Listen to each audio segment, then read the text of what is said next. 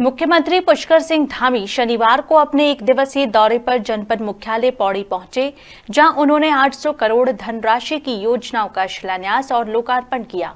वहीं योजनाओं का शिलान्यास करते हुए सीएम धामी ने कहा कि पौड़ी के विकास के लिए 800 करोड़ रुपए की ये योजनाएँ मील का पत्थर साबित होंगी।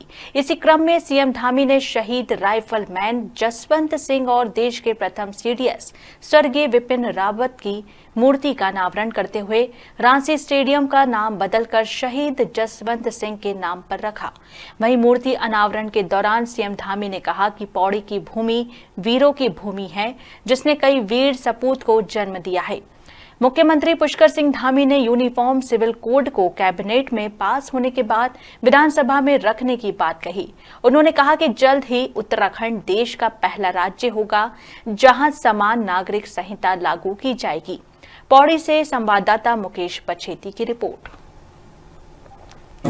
जो हमारी माताएँ बहनें हैं उनके उत्थान के लिए उनके उन्नयन के लिए उनको आत्मनिर्भर बनाने के लिए उनको हर प्रकार से मजबूती मिले रोज़गार करें स्वरोजगार करें आर्थिकी को बढ़ाएँ उसके निमित्त जो आज यहाँ मातृशक्ति महोत्सव जो हमारा मातृशक्ति के उत्थान का उनको एक मंच देने का कार्यक्रम था।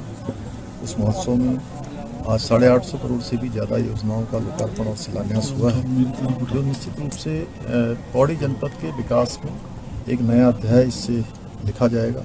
विकास आगे बढ़ेगा, तेज़ी से यहाँ की चीज़ें आगे बढ़ेंगी और दो आज बहुत ऐतिहासिक काम हुए हैं जिन्होंने भारत माता की रक्षा के लिए हमेशा अपने को लगाया, अपना सर्वोच्च बलिदान दिया है बाबा जसवंत सिंह उनका भी आज प्रतिमा का अनावरण हुआ और यहीं पर आज जहाँ इतना बड़ा हमारा यहाँ पर तिरंगा ध्वज आज यहाँ स्थापित हुआ और जनरल जो पहले हमारे सी डी एस थे जनरल बिपिन रावत जी, उनकी प्रतिमा आज अनावरित हुई है। आज का दिन हमारे लिए